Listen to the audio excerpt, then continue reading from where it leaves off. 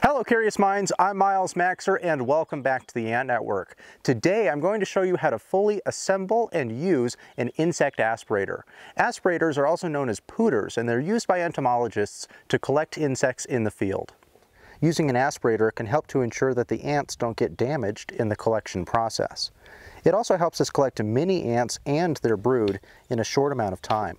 When you first unpackage your aspirator, it will look something like this. You can use it like this, but I do recommend making a simple modification. First, pick up a small fuel filter from a local auto parts store. Alternatively, you can order these online. The filter is used to filter out large soil particles or formic acid.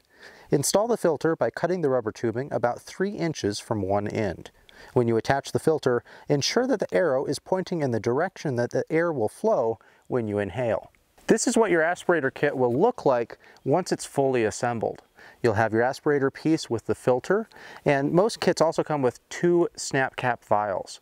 You can purchase more of these at uh, websites like BioQuip or Tar Heel Ants, or you could use centrifuge tubes like these. Now let's go on a hike and use our aspirator to collect an ant colony.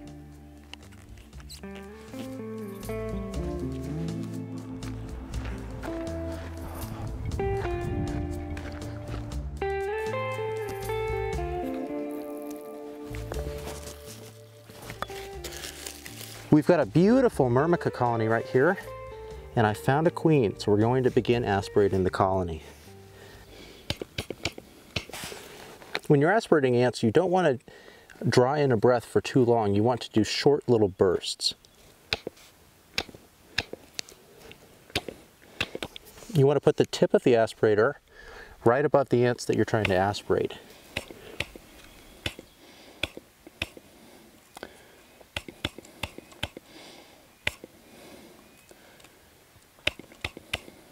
If you get dirt or other material in the aspirator, just gently tap it and usually it'll come out. I find the short bursts especially useful when you're trying to collect brood items. I just finished aspirating this Myrmica colony, which was warming its brood and queens right under this rock. This rock sits in partial sunlight and warms up just enough to give those ants a developmental boost uh, throughout the day. And during the collection process, I wanted to make sure that the ants had enough uh, substrate to grip and hide in during this stressful period. So I put a little bit of moss into the vial. You can replicate this with grasses or things like paper towels if you don't find moss nearby. It's important to clean your aspirator every few months to disinfect it and keep it ready for your next adventure. First, fill your sink or a container with warm, soapy water. Disassemble your aspirator. Separating the silicone tubing from the metal is easiest by twisting, not pulling. Using a clean brush or sponge, scrub each part and remove any dirt. If this is difficult, let the part soak for a few minutes and try again. Once you've cleaned each part, thoroughly rinse and allow them to dry. To reassemble your aspirator, take the mesh screen and position it above the hole. Drive it through with the short tube until the mesh is almost flush with the bottom. Insert the long tube into the other hole. Attach the tubing pieces and make sure the filter is properly installed. This is an ideal time to change out the filter if it is too dirty.